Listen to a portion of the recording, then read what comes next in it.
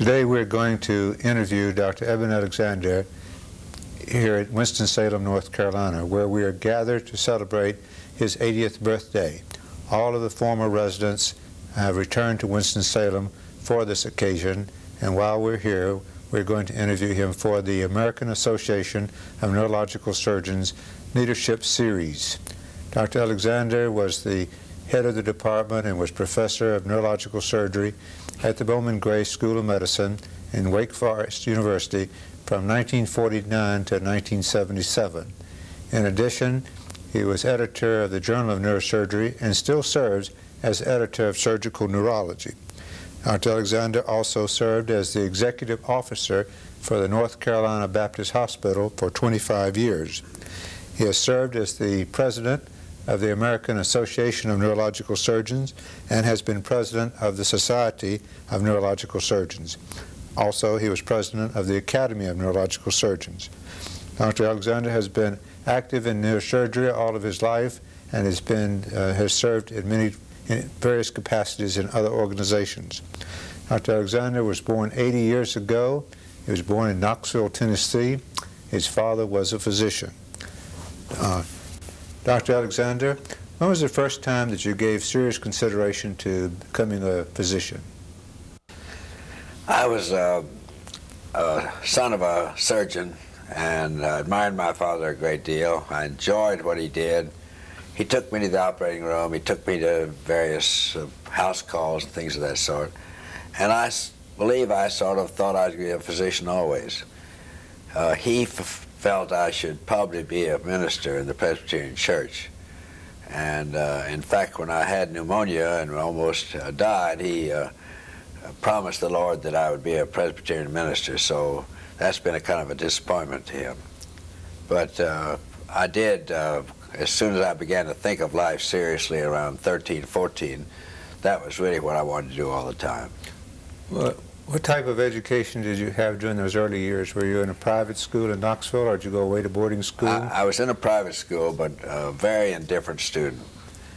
And uh, it was only when I went away to boarding school at McCallie in Chattanooga that I began to take it seriously. And part of that was related to the fact that they had a very strict uh, disciplinary system that if you didn't finish your work each week, you'd spend Saturday afternoon and in fact Sunday doing it. And it took me about three weeks to learn that that was a rather poor arrangement. And uh, so I began to study seriously and uh, uh, rather assiduously from then on. And uh, from uh, high school in, uh, in, Tennessee, where did you go to undergraduate work? Well, I graduated twice at McCallie because the first time I graduated at 16, I was only 5 feet 2 and weighed 110 pounds and my voice hadn't changed. Mm. So uh, my father just said I better go back to school because it would be embarrassing to go to college like that. And so I graduated a second time and then went to University of North Carolina. What uh, type of curriculum did you take when you were at University of North at Carolina? At University of North Carolina, I took a, a strong uh, course in the humanities. I took Greek my all four years there because my grandfather had been professor of Greek. Uh, I took a, a, good deal of English literature and uh, for German, and everybody said if you don't know German, you never can learn medicine. That was based before World War II. And then I concentrated on zoology and chemistry and took those uh, very uh, assiduously. That was my major and my minor, and uh, that was most of my senior year. From there, you went to medical school? Uh, I went to Harvard Medical School from there, and uh, uh, that was a four-year school. I did not want to go to a two-year school they had at Chapel Hill. It was a good school, but I just wanted to go to Harvard, and I did. And uh, when you were at Harvard Medical School, did you have any preference for one specialty or another, or were you just interested in all phases of medicine? Well, I was interested in all phases of medicine. I rather thought I might be an obstetrician, and in fact, uh, I won a a contest uh, to be a, a student uh, obstetrician at the Florence Crittenton's Home for three months and delivered 30 primipara babies during that time. But uh, then I began to uh, be uh, more concentrating in surgery, so I took a surgical internship at the Brigham and Women's and Children's Hospital.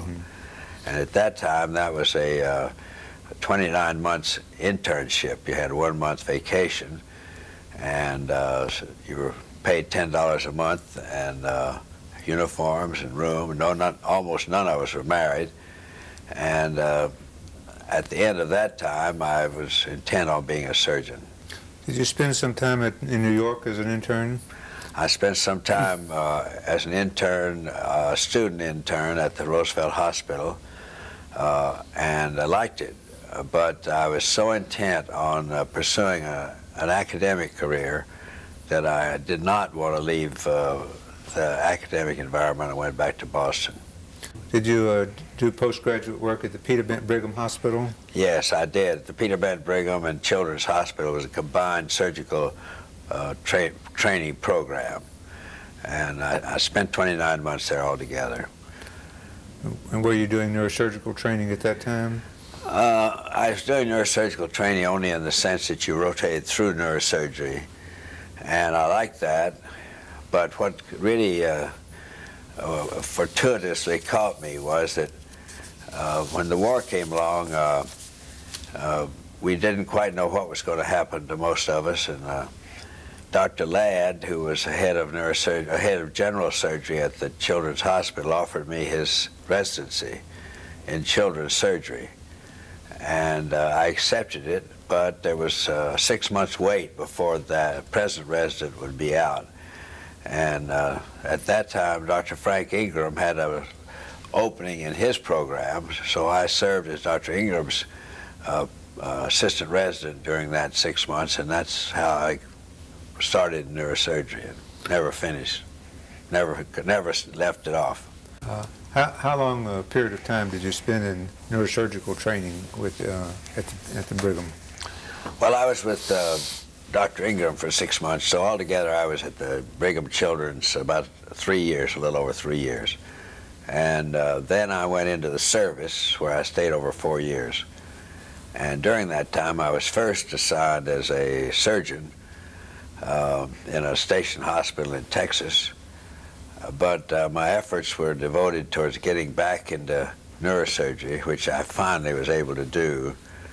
Uh, and then uh, uh, I was assigned to eventually to a uh, uh, evacuation hospital that went to New Guinea, where I was the neurosurgeon. Uh, did you see a great deal of combat action in, in New Guinea? No, I did not. Uh, I saw some about what you see in civilian practice. Uh, the Japanese uh, fought like uh, uh, tigers uh, when you first went into an island, but that only lasted about a day, and then they faded off into the woods. And uh, so we spent most of our time protecting ourselves at night when they'd send a plane over bombing, and uh, relaxing during the day. Uh, so it was not a lot of surgical experience until uh, we got to New Guinea, to uh, Mindanao, which is in the Philippines, and that was a pretty strenuous campaign right up the center of the island, and uh, lasted about a month a month and a half. Earlier you mentioned that you did see some machete-type injuries to the cranial cavity. Did, those Well, I saw machete-type injuries, but they were mostly native on native uh, Filipinos, and uh, so these machete wounds were very clean, uh, sharp wounds that went right through the scalp and the skull and down into the brain about a centimeter or so. And I didn't realize how clean they were. As a matter of fact, I explored them, but when I was finished, I realized that they were nice, clean incisions, and uh, didn't have much trouble with them. Uh, were you uh, exposed to any tropical diseases while you were in the South Pacific, or was We had problem? malaria, and uh, all my tent mates uh, developed malaria, but we took Atabrine, and every time we, uh, one of them had a chill, I took another pill, and I never did have any chills, and never was aware I had malaria. Uh, the Atabrine turns your skin kind of a sickly tan, uh, and uh, so I was able to get some some exposure to the sun that way, which I never could before because I had such fair skin. When you uh, finished with your military service, uh, did you uh, still have uh, some more postgraduate training to do? Did you go with? Uh... Oh, yes, I had a lot of postgraduate training to do after that, and and of course, uh, when uh, those of us who were in the service came back, the people who were in Boston or wherever you were training, first of all, didn't even know that you'd ever come back, and secondly, they didn't know when you'd come back, so they they could not really be prepared for us, and when we went back, they were very generous and open and helped us. Uh, Dr. Ingraham uh, said, I don't know exactly how we'll work this out, but uh, we're going to open this laboratory, and we opened it on the top floor of the old Benedict laboratory. And uh, got dogs and monkeys and cats, and uh, Dr. Don Matson and I worked together for two and a half years up there. And during that time, every now and then, somebody would uh, uh, be absent in the residency, so we'd go over and fill in. And uh, then uh, he and I uh, alternated. I worked in the lab, he worked in the hospital, and vice versa. And then he went to Duke and spent a year, and I went to Toronto and spent a year in adult work because we did not have quite enough adult work at the Brigham Hospital. While you were at the Brigham, did your path cross that of Dr. Cushing at any time? Uh, Dr. Cushing had left the Brigham uh, uh, the same year I graduated from medical school, 1939, and I did not even know him, and in fact was not uh, even intrigued by Dr. Cushing then, although I knew about him. So I did not uh, meet or have any contact with Dr. Cushing at mm -hmm. all. Uh, when you left uh, Boston, you went to Toronto. you worked with Dr. McKenzie. Was this a, a, very influential phase in your life? Or? Dr. Uh, Frank Ingraham. I told Dr. Ingraham uh, uh, that I was going to accept a job at Wake Forest at the Bowman Gray School of Medicine. they'd offered me the job a year or so before, and, and I did not think I had had enough adult experience, and I needed some. And so when he went to a meeting, uh, he talked to Dr. McKenzie. They flew back on the airplane together, and he called me in his office and said, if you go up and visit Dr. McKenzie, he's got a job for you. The job was that Charlie Drake was the resident. He dropped out for a year and did a laboratory thing. Well, I came up and took the job. And so it was a very fruitful year for me. Dr. McKenzie was uh, one of the best surgeons I've ever seen anywhere and one of the nicest people, and it was a fruitful experience for me. You followed uh, all of his patients uh, he had operated on with acoustic neurinomas. Yes, I time. went all over Ontario following his patients and uh, seeing the results of the hypoglossal facial anastomoses. Uh, those patients all had complete removals of tumors and they all had facial paralyses, so uh, they all had hypoglossal facial anastomoses. And I remember my wife, who was not uh, medically trained, uh, uh, we went to see one man out on a farm, and he was just a great result, working every day. But he had a right residual facial palsy with a red eye. And as we left, I said to my wife, gee, that is a great result. And there was this silence. And she said, what about that red eye? so that, that's really what she saw. And uh -huh. they were good results. It was just a, it was a phase. You see, the average acoustic tumor at that time was probably four to four and a half centimeters in size. We didn't see any small acoustic tumors. Uh, and uh, so your job was to get the tumor out. You, weren't worried about the facial nerve. Sometimes you did, you were able to save it, but not often. And uh, that was a phase, the mortality, which was very high initially. Dr. Cushing used to just debulk the tumors. He'd take the tumor, soft part of the tumor out and leave the tumor capsule in. And uh, most of those patients had a, a rather tragic uh, course of increased pressure, reoperation, and so on. So Dr. McKenzie's effort was to completely remove the tumor so they didn't have any trouble with that again. And whether they had a facial paralysis or not was not of major concern, and uh, we repaired that with a, facial, facial hypoglossal anastomosis. After you finished uh, working with Dr. McKenzie in Toronto in 1949, you then came to Winston-Salem. Well, I didn't come directly. I, I came uh, in 1948. I left there a little early and went down to, Mont to, New Haven, where I spent several months with uh, Louise Eisenhardt, who'd been Dr. Cushing's pathologist and secretary. And she was very generous and let us work. There were about four or five of us there uh, all of uh, us who were kind of veterans trying to catch up. And uh, after I had spent some time there, I went to Montreal and spent a month with Dr. Penfield, who was on vacation, and that was a very fruitful experience for me. And uh, then when I was 36 years old, I came to Winston-Salem.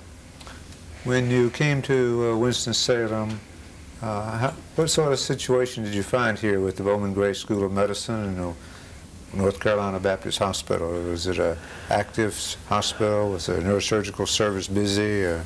They had a neurosurgeon here uh, whose name I won't uh, mention, but he was not dependable, uh, and he did a lot of, uh, uh, to my mind, very unusual and odd things, and they wanted to get rid of him, and, and so I said I will come if he doesn't have a part of the staff, and uh, I kept uh, telling him that, and uh, so within a month before I came, uh, I had still not uh, had a copy of a letter saying he would not admit patients anymore. And finally I called I said, well, I'm not coming because you haven't sent me a letter. So I got the letter, and of course he was not particularly friendly to me after that. But uh, anyway, I began to build a service then. Dr. Ames was here finishing, he, although Dr. Uh, the job doctor who was here did not have his board qualifications, he did have people in training. It was very informal at that time. And so when I uh, took on Dr. Ames, who was uh, here before, he was obviously a very good person, and I trained him uh, for a year. And then uh, after that, I got my boards, and the board was perfectly happy about this and accepted my word and let him take his boards after that. So he's, he was board certified. What type of neurosurgery, what constituted neurosurgery in 1949? That was just seven years after the famous article about uh, lumbar disc. Were you doing lumbar disc in those days? A lot of lumbar discs. Uh, we were doing all of them. The orthopedists didn't have any part in it. Uh, were you we, doing frontal lobotomies at that time? We were doing a few frontal lobotomies. I was very uncomfortable about those, but uh, there was no single medication for psychiatric disease at that time, just like there was no single drug for hypertension. So we were doing a few prefrontal lobotomies, mostly done after I had spent a lot of time with each patient and decided that was the thing to do. Mm -hmm. And I think I did maybe 15. Were you doing sympathectomies or anything like I that did a, for hypertension? A lot of sympathectomies for hypertension, thoracolumbar sympathectomies, one side and then the other, uh, for people with malignant hypertension. And then um, uh, I was doing sympathectomies for peripheral vascular disease too. Uh, and uh, were you doing much trauma at that time? There was a lot of trauma. Uh, and of course, uh, we hadn't even at that time started doing angiograms uh, on the routine patients to see whether they had hematomas or not. How were you evaluating them? Well, we examined them and spent time with them and did burr holes. Spent a lot of time at night doing burr holes. And uh, did three burr holes on each side. And sometimes when you weren't sure that you'd covered everything, you'd tap a ventricle and put some air in and take the patient to the X-ray department to go see if there was any shift. You were you doing burr holes in the emergency room, or were you no, taking them up to surgery and doing took them? them to surgery. Mm -hmm. And were you just covering one hospital here in Winston-Salem, no, or were you covering the other I, hospital too? I was uh, concerned that the South had not uh, integrated at that time, and uh, I wanted to take care of the black population.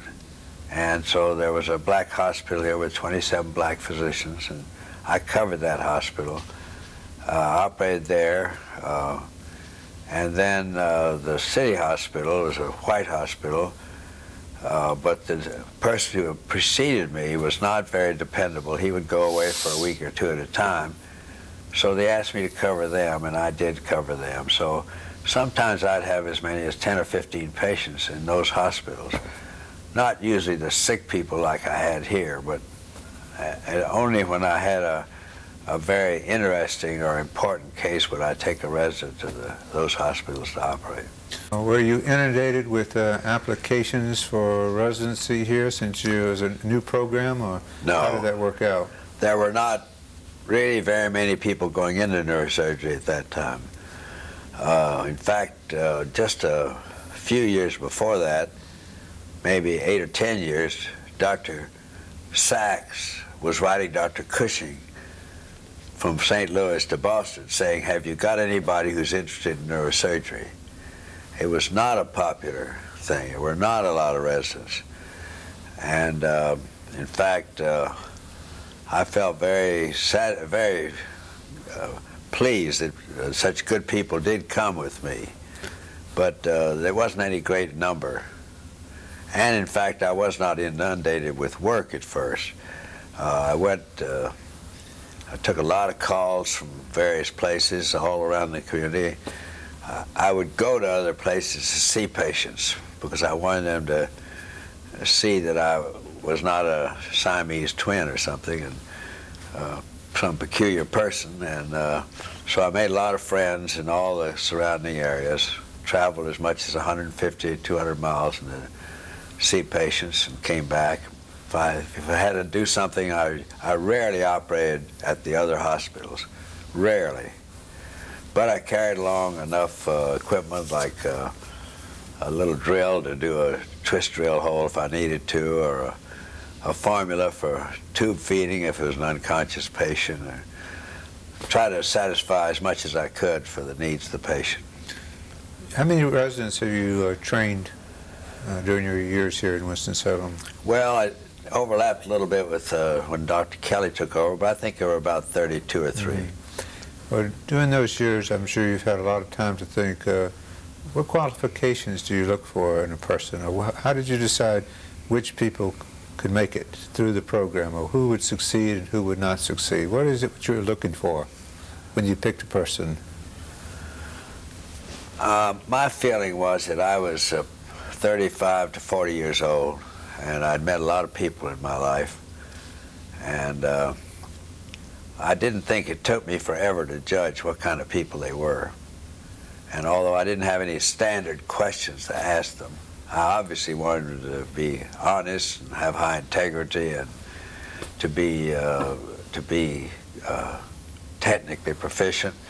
One of the residents jokingly accused me, I had a, a Thunderbird, a 1957 Thunderbird, and in it I had uh, war surplus uh, seat belts with a quick release. And uh, so when I took these people out to lunch, I would uh, show them how to put that seat belt on. and when we got through with lunch and went out, uh, if he couldn't put the seatbelt on himself, I thought that was kind of a sorry display of technical ability. Uh, however, that's only an apocryphal story. Well, you also were very concerned about their family. I, I, remember you always made a point of having their wives come down and, uh, and made inquiries about their family. Did you feel that from the very beginning that it was important that uh, people have their family life sort of squared away or settled down? Oh, I, uh, I felt that was very important. That a, a, an individual had to have that aspect of his life uh, in, in control uh, he, uh, were, these individuals were almost all married uh, to wonderful people. And first of all, I enjoyed knowing all these families, and secondly, being a part of them. And thirdly, I thought it was very important if they were going to be trained and be able to do this, that these people be part of it, because life doesn't just stop when you finish being arrested. They've got to know how tough it is from then on. Uh, do you have any particular memorable anecdotes about any of the residents or any of the things that uh, you remember through the years? I remember at the, uh, the dinner in Boston, I found it quite humorous about um, Dr. Ashby uh, and, and Dr. Mitchell. Uh, Dr. Mitchell seemed to always take the brunt of criticism for Dr. Ashby, who was just a temporary resident here. Uh, Dr. Ashby came over here. I, I was uh, interested in letting people rotate through other services. It was easier then.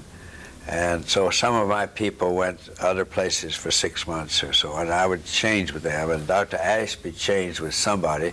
He was from Vanderbilt, and uh, he was a very interesting, interesting, uh, humorous person. I remember, though, that he was a big person, big hands, and I used this fine uh, 4 catgut. And uh, so I had him tying these knots as we closed up a wound, and he broke four or five of them. And he said, Dr. Alexander, you're just going to have to call Dr. Meacham and tell him that I cannot tie 4 catgut. uh, in addition to your uh, experiences with uh, the residents and the training program, you've spent a great uh, number of years editing articles and working with journals. Spent a number of years with the neurosurgical techniques, and you spent a number of years with the Neuro Journal of Neurosurgery, and now you've spent at least 10 or, 10 or more years with surgical neurology. Um, I was wondering if you have any thoughts about what it is that makes a good article, why some articles are accepted, and some articles are rejected, and uh, if you have any thoughts that you'd like to share with people who might be viewing this about writing articles. Uh, first of all, one must have something to say uh, I think uh, uh, the present day, more than it was at that time, many people feel it's important for them to get publications on their resume so they get credit for that for promotion. And I never felt that was of any uh, significance. I think if somebody has something to say, uh, he's got to have a valid case. He's got to have good illustrations. Uh, and he's got to uh, have looked up the literature and to be very sure of the cases. For example, if if you're going to survey 35 or 40 different cases, my feeling was, and I did this myself, that you need to see every single case or the x-rays or the operative note. You've got to go over every case so you know they fall into that category. And, uh, and then, of course, you've got to be able to write. Uh, you've got to be prepared to, if your co-authors want to do something, uh, uh, you've got to be prepared to accept their suggestions. And I learned that very quickly when I was at the uh, Brigham uh, and uh, Children's Hospital with Don Matson, who was a, a genius, a classmate of mine. We were fellow house officers. But Don Matson had the capacity to write the first time, write.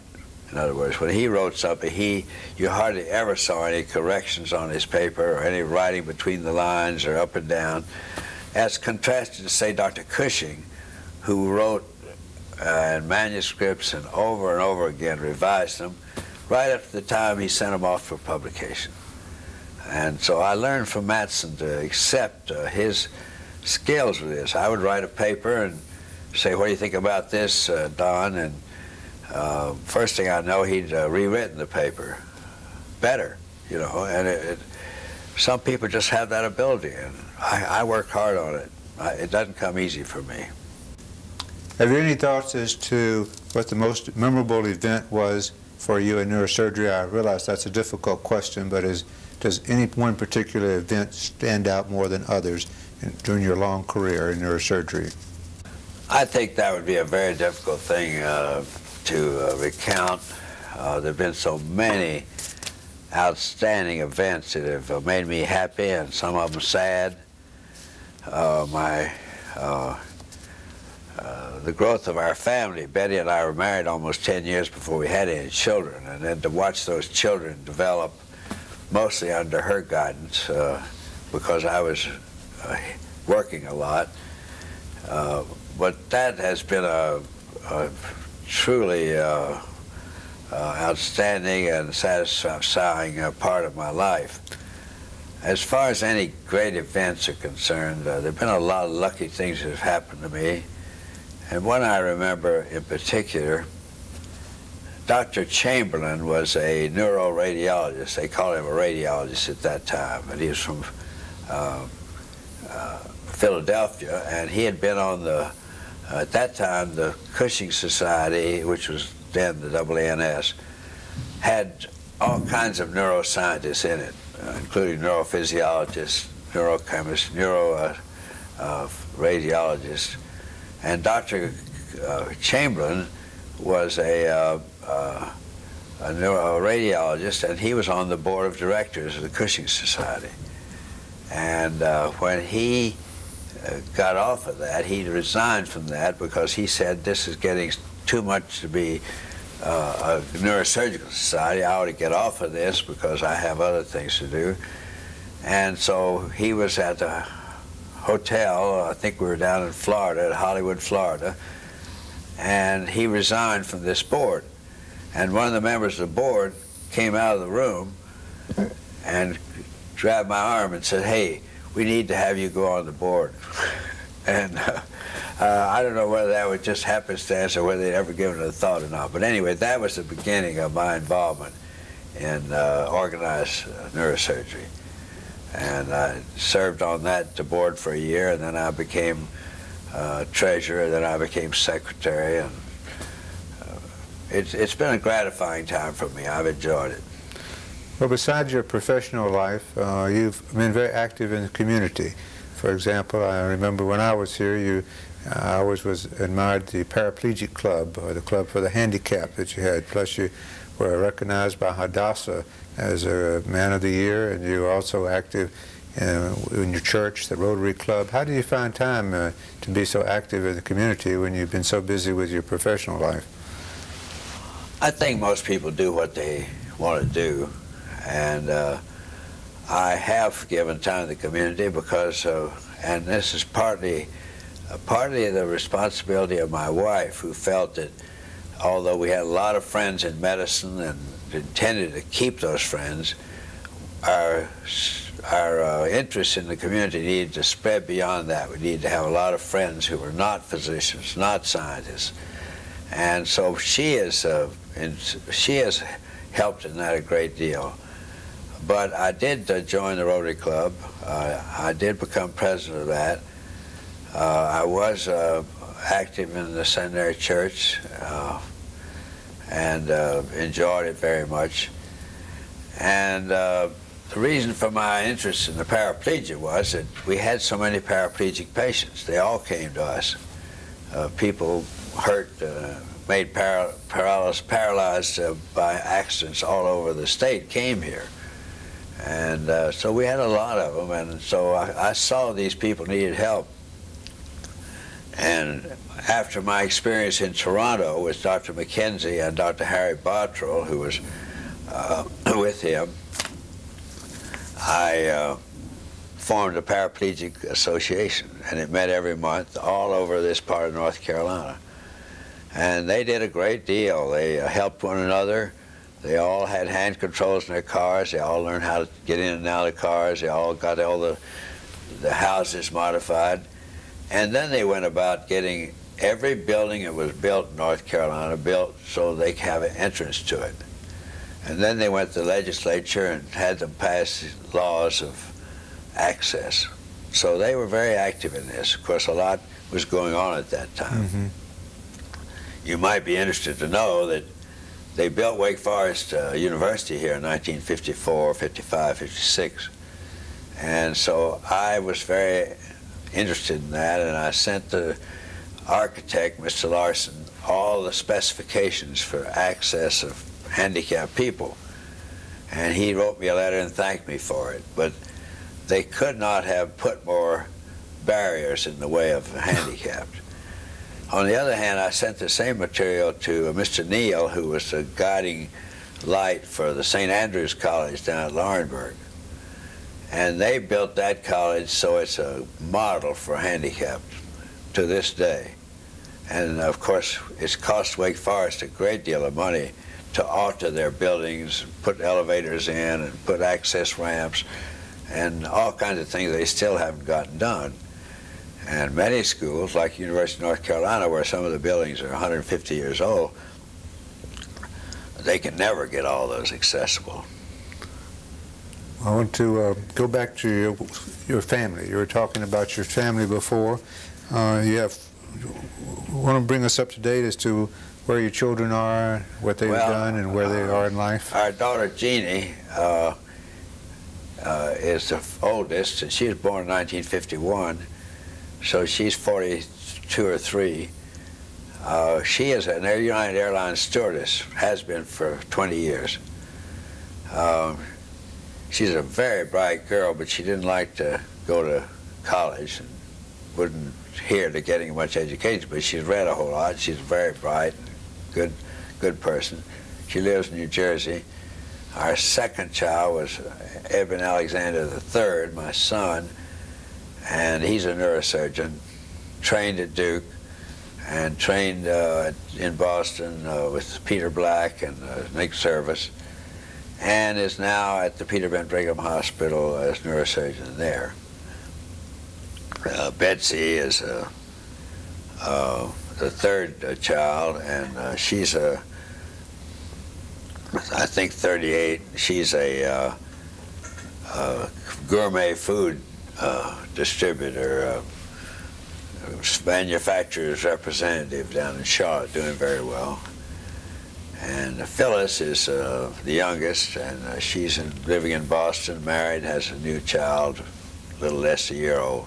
We have two grandchildren now, one for Alec and one for Phyllis. hmm Now, your wife, as Betty, has been, when I was a resident here, she was very much involved with all the residents, and she knew their wives very well, and everyone felt that they could call upon her uh, throughout the years, and she's been certainly a great deal of help to you. She really has, and as a matter of fact, it went beyond that because I was also chief of staff for the hospital, and we used to have a house officers party in our backyard uh, on uh, Georgia Avenue every year until it became too large to encompass it. Well, as you are getting ready to relinquish your job as editor of surgical neurology, and as you approach 80 years of age, you find yourself for the first time in your life prospect of being unemployed. Besides catching squirrels in your backyard, uh, have you any thoughts as to what you're going to be doing with yourself? Well, uh, I'm looking for another job, but the job I do have already is as historian of the Society of Neurological Surgeons, which is the oldest neurosurgical society in the world. And uh, it publishes a uh, book about every 10 years, and this book will be published in 1995 with a biography and a photograph of every single member, dead or alive, of which there'll be about 300 or 350. And uh, if you think getting all that material is easy, you, you know, you haven't done it. It's uh, going to be a lot of resistance. But I did that once before in 1943, and it came down to a list of about 12 or 13 people that I just couldn't get an answer from. And I really hit upon a good answer, and that was to call their wives at home and say, do you want to have your husband's picture in this book?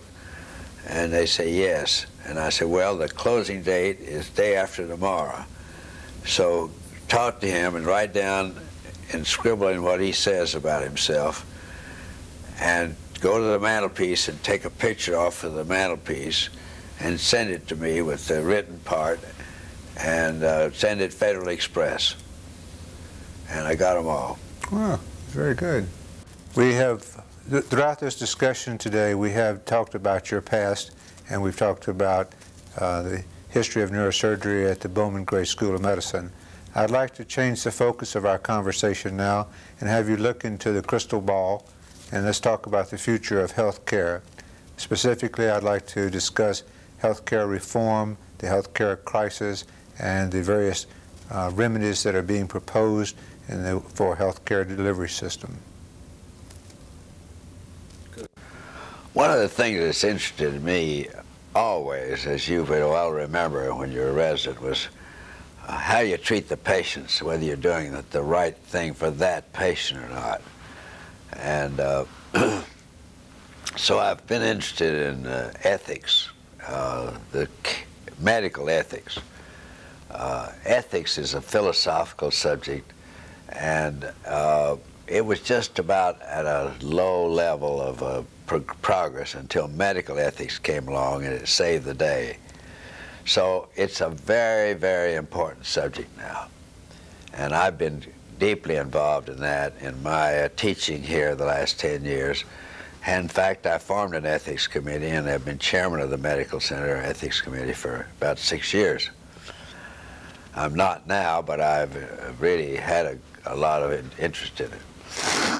One of the things that interests me is that the computer and the uh, free communication and the availability of data have uh, made things so available to us that many people are rising up on their uh, hind legs and saying things in a hyperbolic way that make it make you think they know what they're talking about.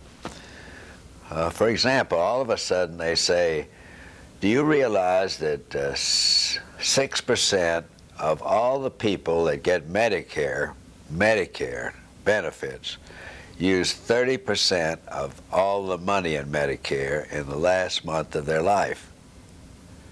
Well, that's a frightening experience.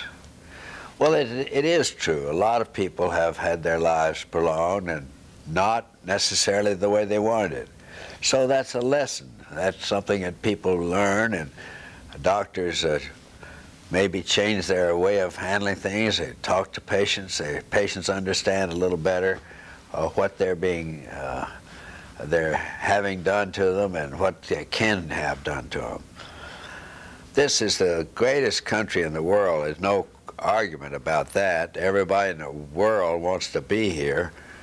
Uh, otherwise, we wouldn't have to, so many people applying for citizenship.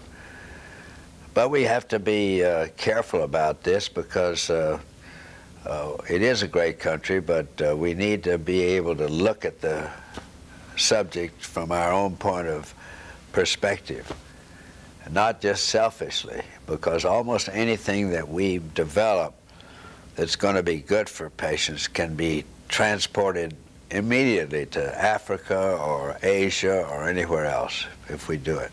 So what is happening? Well, um, every field you talk about, whether it be neurosurgery or urology or orthopedics or uh, any field uh, of this sort, the progress is astonishing. In other words, look at what they do to a knee now. Uh, somebody in football uh, injury, they operate on his knee the next day, and about two weeks later, he's back playing again. Uh, look at uh, what neurosurgeons have done about the spine and ruptured discs, sending people back to uh, to work. Uh, and look at the progress that's been made about tumors and trauma and all the various aspects of it. There are many discouraging things, and that's okay. We, we, we're a bright country, and we need to we need to look at these problems as we as we best can. People are frightened to death about the fact that uh, uh, that uh, the population of people over 70 was, uh, say, 5% in 1940, and here it's going to be 13% in, in, by the turn of the century. Well, there are a lot of people older, a lot of people more useful than they ever were before, and a lot of handicapped people. But uh, then they make these fantastic statements that this is only a service industry, you're not making a product, you're not like building an automobile or building a toaster or something like that. You're simply making people well, as if that were pejorative, not a good thing. So I think we need to talk these things out and uh, uh, have everybody enter into it and uh, not have everybody in his small way stand up and make a, a hyperbolic statement that this is going to bring us into rack and ruin. Uh, for example, the genetics of things, you know, the fact that they could take a bacterium, E. coli bacterium, and make growth hormone out of it. Growth hormone. They can take a child and who's uh, four feet tall and make him uh, five feet tall. You know, it's it's, and so what's the problem with that? Well, first thing you know, somebody wants her son to be seven feet tall because she wants him to be a good basketball player. So she buys this drug. Well, that's an unethical thing to do. It's not good for the boy. It's not good for medicine. is not good for. Us. So these, everything you do, everything you do, brings about problems. In 1972, we learned how to put, uh, how to do dialysis. Before that, we learned how to put the endotracheal tube down. Then we learned that we didn't have to let people die right then. You could keep them alive. And how would you keep them alive? You keep them alive so they could have kidney transplants. So immediately we raised a whole lot of other problems. The hospital said, well, look, it's costing us $30,000 every time you bring somebody in on a tube who's going to die and to transplant a kidney. It's costing us $30,000. Of course, is another problem. It's a problem, and these are problems. We just need to all sit down and think about how we can get settled.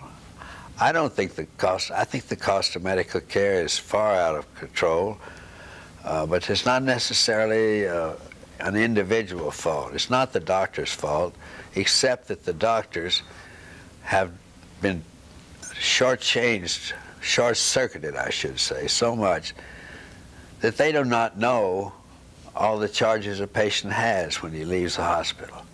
He doesn't know an aspirin tablet costs two dollars, uh, and that a pacemaker probably costs uh, twelve thousand dollars, where it used to cost three thousand dollars. And uh, so I think the physicians need to know what all the costs are.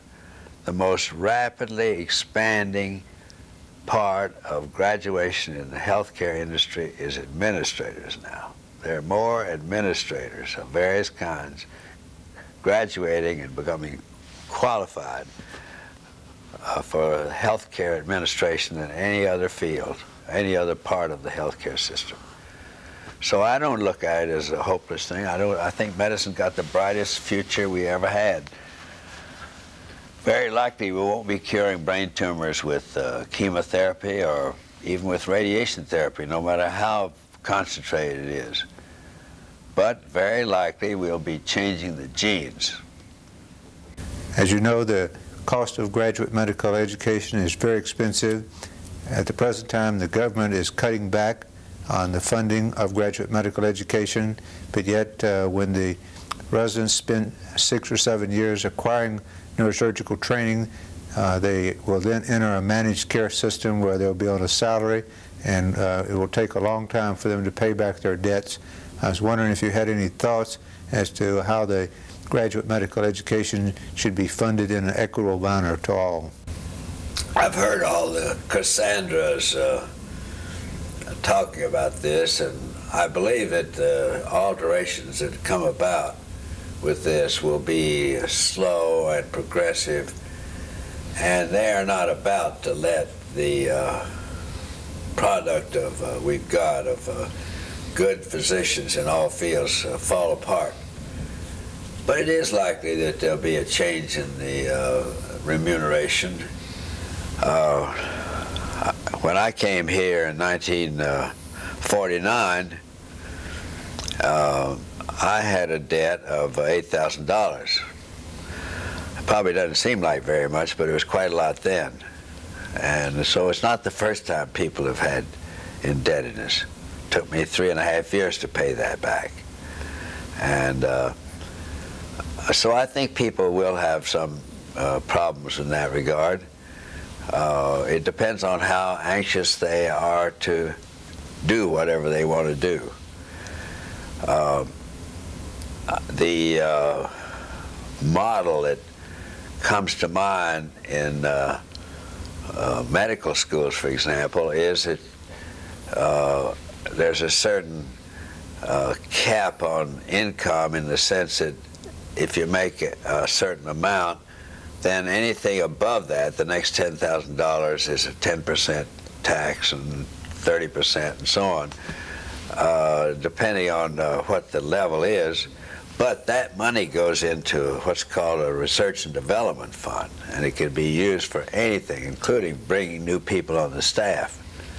And that's exactly what's happened here. That's one reason people have been brought on here, because they have research and development funds that have been accumulated over the years uh, from that sort of effort. Now, some institutions don't have that. Uh, they've all developed different systems, but there are many, many problems uh, related to these things that can be solved. People were so much in favor of the Canadian system. We need a Canadian type single payer system. First of all, they don't have a single payer system in Canada. They have all kinds of provincial different uh, uh, insurance groups. Secondly, the Canadians pay twice as much income tax as we pay, and we pay twice as much health benefits. So it evens out in that regard. And the Canadians, believe me, are very well off because they're 90% of all Canadians live within 100 miles of the American border. And so if they want to get some expensive procedure done, many of them come to Buffalo or New York or Seattle or whatever. And uh, they borrow things from us, and rightly so. I'm a, I'm a half Canadian myself. I'm not against it.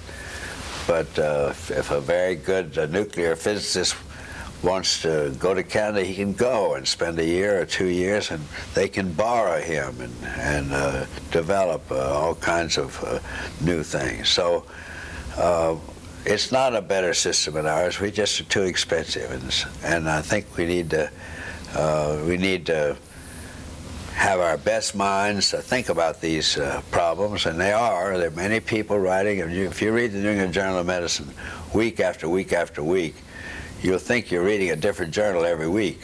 And in fact, this week, uh, there was an editorial by the uh, president of the Massachusetts Medical Society who criticizing the main editorial in the New England Journal of Medicine of a month before by the uh, deputy editor saying this editorial shows how little control the Massachusetts Medical Society has over the New England Journal of Medicine because Marcy Angell simply said things that they didn't approve of. Well, this is okay. This is democratic. This is uh, nobody got mad. It's just democratic system of discussing these things, and that's what we need right now. Every little group needs to discuss this. There's a move on that's going on in uh, many communities uh, to uh, do to uh, replace the private practitioner with group practices. Uh, it um, seems to be more of a move to deliver capitated type medicine rather than fee-for-service medicine. Uh, I was wondering if you have any thoughts about this system because it seems to be it's what, what's coming down the pike and I wonder if you have any thoughts about that. I think that most of the younger people, and I have to classify myself certainly, and probably you as not being one of the younger people now, most of the younger people are perfectly willing to work on a salary. Some kind of negotiated adequate salary with some kind of security for a job, security for help. But every, every part of the country has a different problem. In North Carolina, they're terribly intent on bringing family practitioners into every small community. Now that means a small community of maybe 2,000, 2,500 people. Um, the only way to get uh, people to settle in those communities is to have them marry girls that want to go back to those small communities. Because you can't have a girl in the city who's used to all the theater and all the entertainment and all the places to eat and have her go back to a small community where she's living in a fishbowl and has to go to a certain church and has to follow a certain line of social obligations. And so what do you say? Well, those communities don't have the best lawyers, they don't have the best uh, ministers, they don't have the best businessmen, they don't have the best anything. They have good people who like to live there. Many of them go to other places to do their service. But to, to blame doctors for not serving all those communities is, to my mind, a mistake.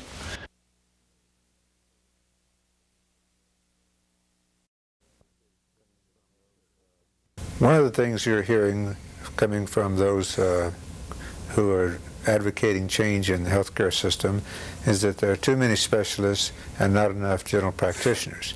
And one of the remedies proposed is that general specialists of all sorts be retrained to work in emergency rooms and be general practitioners, and that they would come out with financial incentives to bring this about. It seems to me that it's sort of the same type of thinking as burning books, trying to stop knowledge, and uh, therefore turning the clock back. I was wondering what your thoughts are on this. Well, I've, I've got a lot of thoughts about that.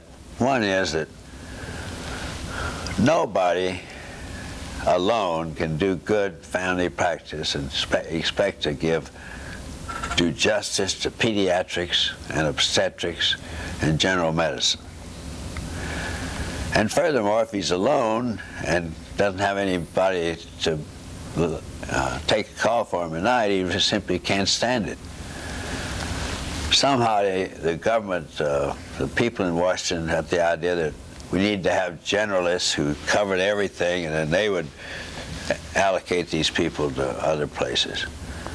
Now I've thought all the time and what we need to do was to put groups of three to six to nine to 12 people in small communities an internist, a pediatrician, OBGYN.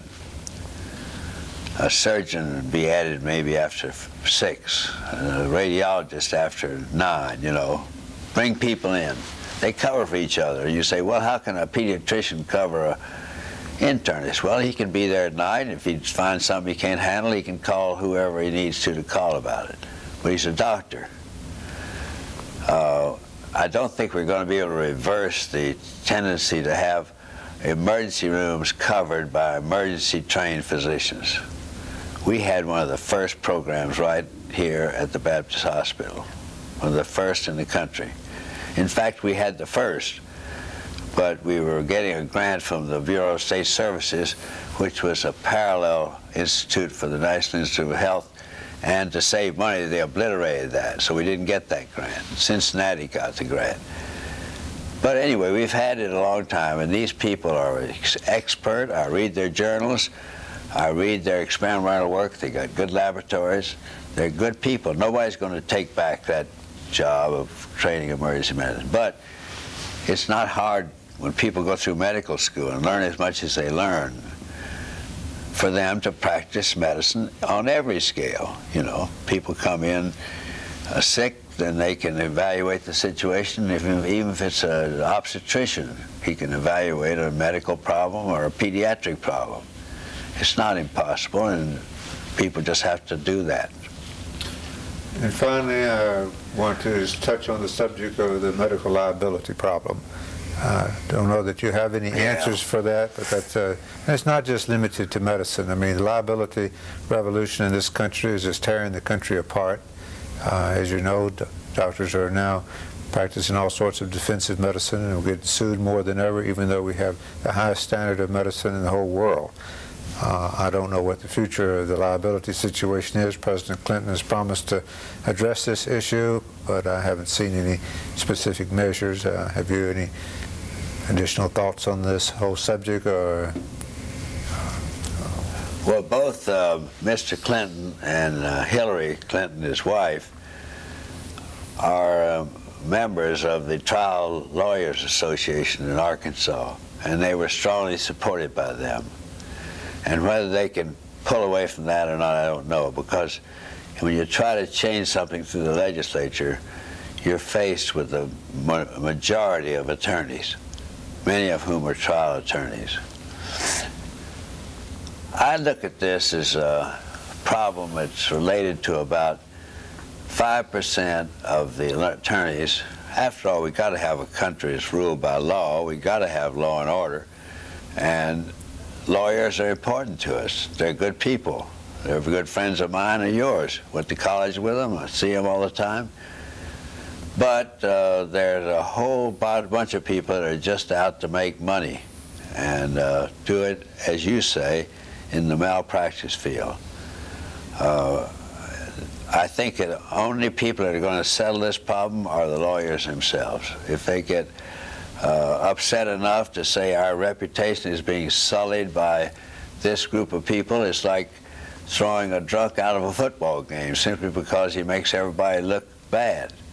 And uh, these people are making uh, the world and making the legal profession look bad. And they are. They're, the people are having to practice uh, defensive medicine. As far as I personally is concerned, uh, I never paid out a dime. Uh, I never had a, a hearing for a malpractice case. But I did have a case I operated on for one of the residents. And so uh, the patient didn't get along very well. She said, I'm going to sue somebody. And so she sued me. And uh, so I sent the information to her, uh, my attorney, and about six months later, he called back and said, You're not going to like this. And I said, What's that? He said, Well, her lawyer said that uh, he's investigated you in this case, and she does not have a case, and he's not going to pursue it. But he sent her a bill for $8,000 for that service. And she says that if he charges her $8,000, she's going to make him pursue the case or else charge him with malpractice. And so the insurance company said, we would like to pay him $8,000 to settle the case. Otherwise, it'll cost us $100,000 to run through the courts. And so I talked to all the lawyers I knew about it, and all of them said I was naive and didn't understand the problem, and that they should pay it, which they eventually did. That's the only.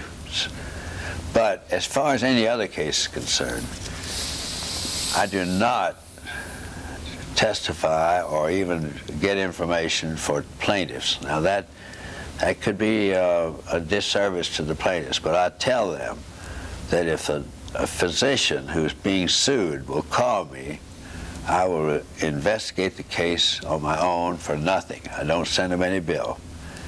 If I don't think he has a defense, I will tell him so. I will not write anything down. I will not make any tapes of it. And therefore, I'm not discoverable. But he should be, on my advice at least, he should be able to settle it for whatever it has to do. And that's the way I've handled all of them.